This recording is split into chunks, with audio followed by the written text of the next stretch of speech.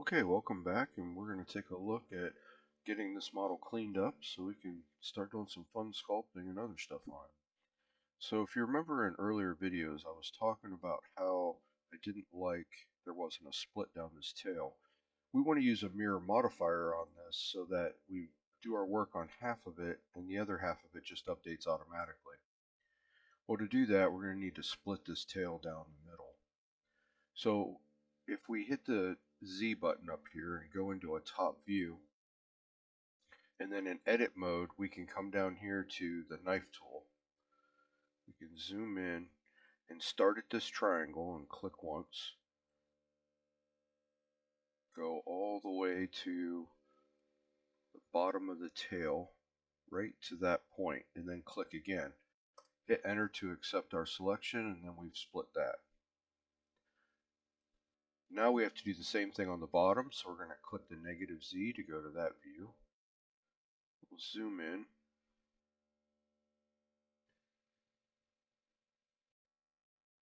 Go all the way to the bottom of the tail again. And then hit enter.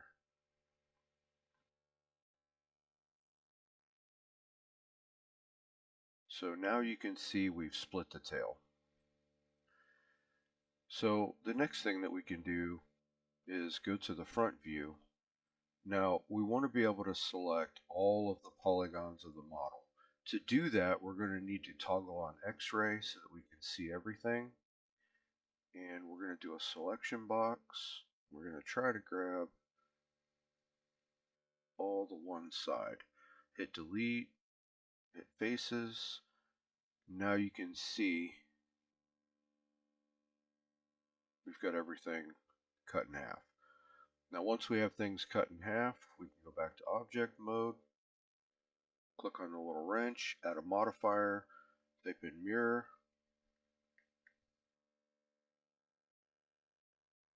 there we go. So we're going to turn off the x-ray mode. If we go back into edit mode, let's see. If we select this edge, hold down Alt, and click another spot on there, it'll select the entire thing.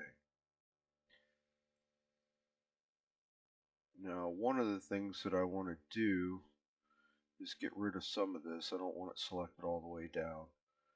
But we're going to move it now. So if we hit G and then Z, you notice that we can move things around. So if I move that down a little bit, it rounds it off. And then you can see that what's happening is everything we do on one side is now happening on the other.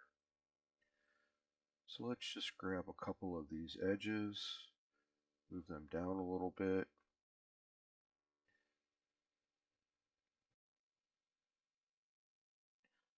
Nothing major, just a little bit. And some of these we're going to need to move around a little bit too. We'll deal more with that a little bit later. But I just wanted you to see that anything you do on one side is not going to happen on the other. Now that we have the tail split, we don't need these edges. So we can right click and we can dissolve the edge and then you see that gives us quads again.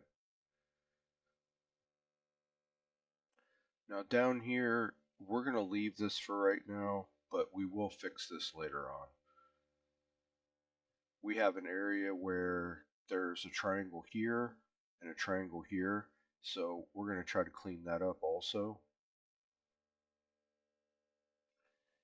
Uh, we have this spot right here that we need to fix. So let's go ahead and deal with that now. So knife tool, select that for come over here about right there. Carry it over hit enter. Now we want to grab that and that edge and dissolve. So now we have quads again. I'm going to tackle that in the next video. I know there's also a spot down here on the foot where there's a triangle couple triangles. I don't care for that. Some down here. So we're, we'll clean those up in the next one. But we're going to throw a um, subdivision surface modifier on here and take a look at things.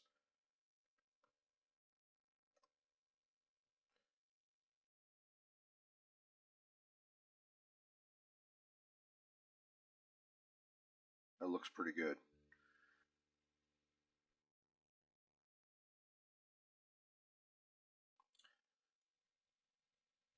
Alright, in the next video we're going to do some cleanup on the leg.